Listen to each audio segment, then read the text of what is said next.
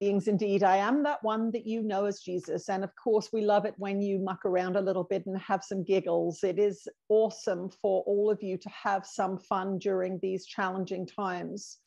Uh, this is something that you can set yourself as an assignment to get yourself uh, watching something light-hearted. Our dear one does it sometimes. There is a British uh, talk show host called Graham Norton, and there will be times if she's feeling a little bit blue if she's tired or if she doesn't want to learn anything or do anything constructive, she will watch a few episodes of Graham Norton, who is very funny as far as she is concerned.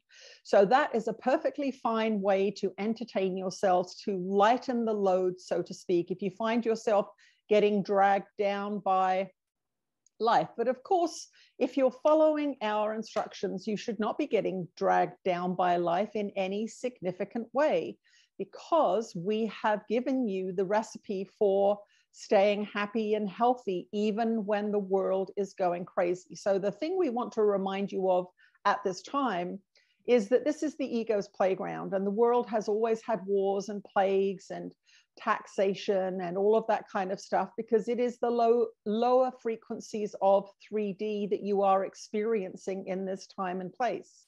Now, as the elevation of your frequencies continues, you have the option to leave those lower frequencies behind.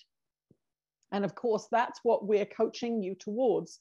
We're coaching you towards leaving those lower frequencies behind. And the powers that be are coaching you towards going lower and lower and lower in the 3D realm, uh, uh, going down into the, into the really low realms of war and death and sickness.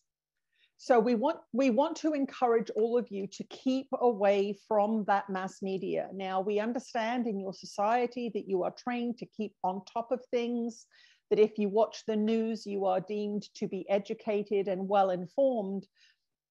As you know, that that is uh, as you know now, that is not true. So we we want you to really change that uh, way of looking at the world. Now, if you have any large decisions to make obviously, if you have to book a plane ticket or if you have to uh, try cross a border or go to some other part of the world, then you are going to want to know what is happening there. And that is fine. That is fine. That is fine. It's fine to do research when it is necessary. It is time to have a schedule when it is necessary. These uh, uh, these principles that we bring forth and that the Course in Miracles brings forth are for your sort of everyday mundane life, so to speak. But as you understand it, once you start to get tuned into spirit, once you start to get tuned into your creativity, once you start to get tuned into your community, uh, each day has a tremendous amount of information and potential experience for you. And this is the thing that we'd like to encourage you to do at this time is to step away from your devices as much as possible. Uh, we are repeating ourselves, we understand, but the call to these devices is getting increasingly strong. Uh, the society is pushing you towards doing everything on your phone or your computer. We want you to begin to envision a lifestyle where those things are incidental. Now, we understand that some of you who have online businesses have to uh, spend your time on the computer. But we would encourage you very, very strongly to make sure that for several hours a day you turn it off, that you aren't there for your entertainment. All of this consuming images through screens uh, is very, very detrimental because every single being that has a screen message, including us, has an agenda. We have an agenda for you when we put out this information. And this information is our agenda is to raise your frequency. and you know it's that because you've been watching it for years and you can go back and look at old videos and the message is the same. So you understand that our agenda is a loving agenda, but uh, there are a lot of uh, beings who are pumping information through screens, through music, through media, meet, through movies, and through videos that do not have your best interests at heart. So we want you to be be increasingly careful about what you are watching. Now, those of you that have been doing the course for some time, you have dealt with this problem. However, when you get a, a, a, global war story that's happening, it's very, very easy to get sucked into it. And this is why they are amping up what's going on. because they have to get as many people as possible into the lower frequencies to be able to bring in what they want to bring in, which is this increasing control and increasing uh, increasing medical intervention. So what the beings in charge understand is that if you are of a higher frequency, their message cannot reach you. So this is why we want you to double down on what you are being, uh, double down on being very conscious of what you are consuming in all ways. Because this is the purpose of lowering your frequency so that lower frequency messaging can access you. Uh, that that if you're feeling down, you'll you'll turn on the news or to, you'll you won't turn something off. Let's say if it's in your room or somebody else is listening to it, because it's a match for you. So remember, if it's a match for you, it can make its way into your world. So this is really about creating a spiritual immunity to the plan that those shadow workers have for you as light workers. Light workers are the more powerful in that sense because light is more powerful than shadow. There is no shadow switch.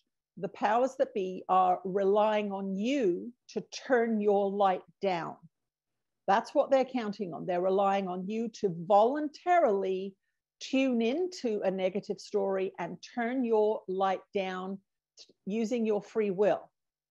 So, when we say be more careful about what you're watching, we would like all of you today to review what it is you're watching. So, our dear one, for example, has been watching uh, painting competitions because she loves to watch people paint. She loves uh, the conversation. She loves the inspiration that it gives her.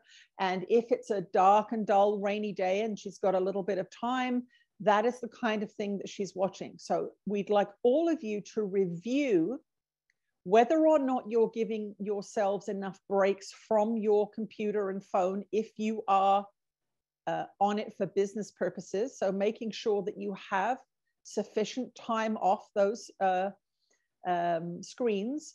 And for those of you that are not having a business online and do not have to actually be on screens at all, we would like you to really assess how much time you are spending uh, taking information in through that way. In the old days, people used to build wooden coffee tables. They used to have some chickens in the back and get uh, and have to go out and feed the chickens. They used to have all kinds of activities that were real in, in real time in the weather, outside or inside.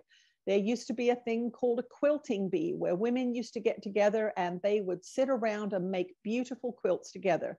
And they would talk and tell stories and share, recipes.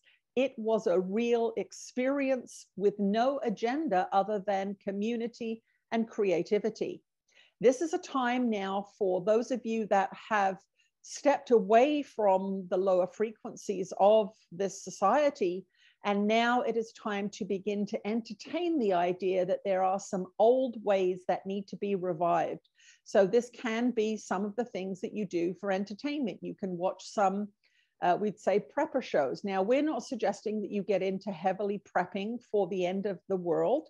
That really is a fear driven thing, but you can indeed understand that it is uh, inflation is hitting all of your pocketbooks and that if you buy a can of tomatoes today, it's going to be cheaper than if you buy a can of tomatoes in six months.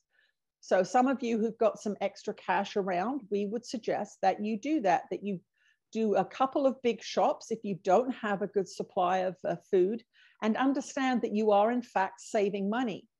The other thing we'd like you to do is to make some effort to spend time with people in your community in some way, shape, or form. It could be that you have a, a neighbor or a friend that you particularly like and you never really get together because you're so busy doing this and that. But to actually make time to uh, have a lunch date with them or get together and do some creative project, begin to remember what it was like before technology. Because technology really is removing you more and more and more from skills and abilities that you are going to really value in the future. Not only that, but these skills and abilities, whether it be gardening or creativity in some form, or learning how to fix something or build something, these are deeply satisfying creative acts. And most people in your society have been losing these things over generations, and the entertainment industry has taken over. The entertainment is where you go now. Someone else is going to entertain me rather than, oh, I'm going to go into my workshop and work on that thing that I've been working on, or I'm going to go into my uh, craft studio and I'm going to work on some things in there. We would like you to begin now to really, once again, re-emphasize these non-technology focused uh, aspects. Now if you have to watch a youtube video to build the coffee table or you're following a creativity video and that's what you're working from that's a different story. You're using the internet for what it is very very good at which is teaching you.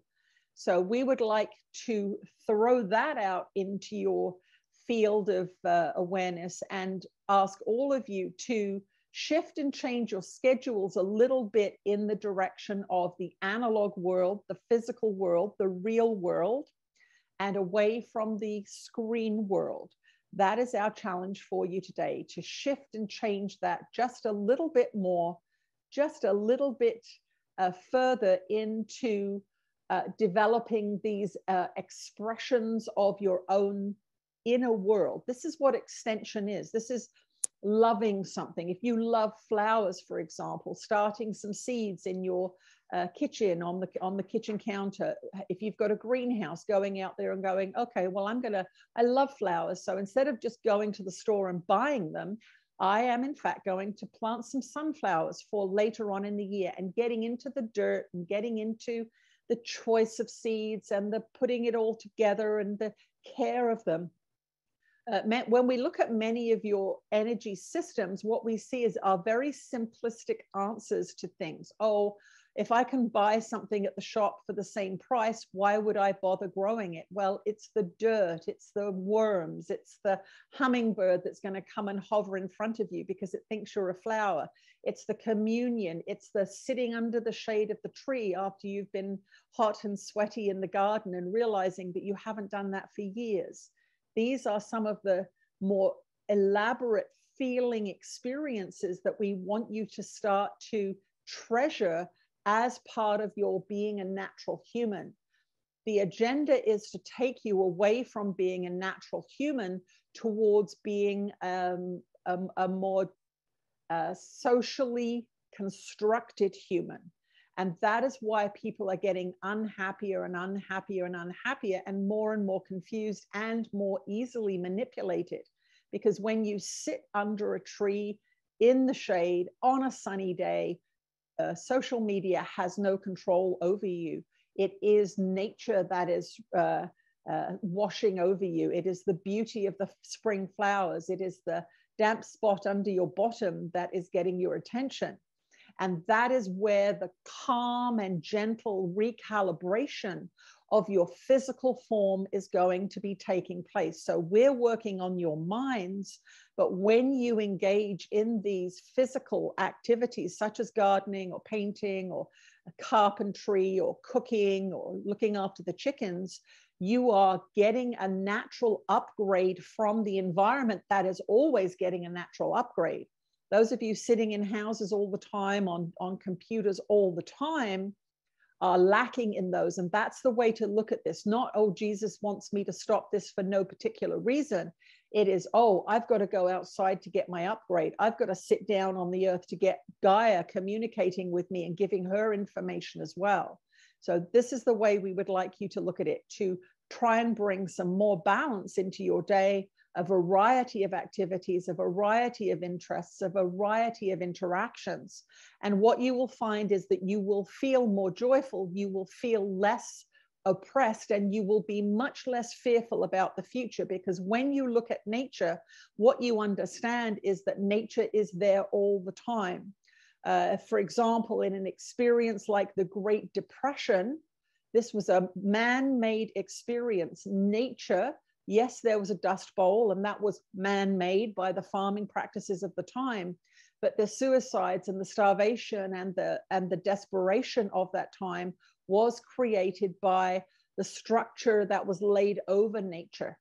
So cultivate nature wherever you can, hang out with her whenever you can, and understand that before this crisis, during this crisis, and after this crisis, nature is there doing her thing, uh, abundant in her ability to provide you with food, stick a seed in the ground. She doesn't care if there's a war in uh, the Ukraine. She doesn't care if there's a COVID crisis. Put a sunflower seed in the soil and nature will do her work. And if you're focusing on that kind of thing, then you are going to see that you do not need to be afraid that the most powerful creative force not only lives in you, but lives in nature as well. And so that is why we are making this suggestion.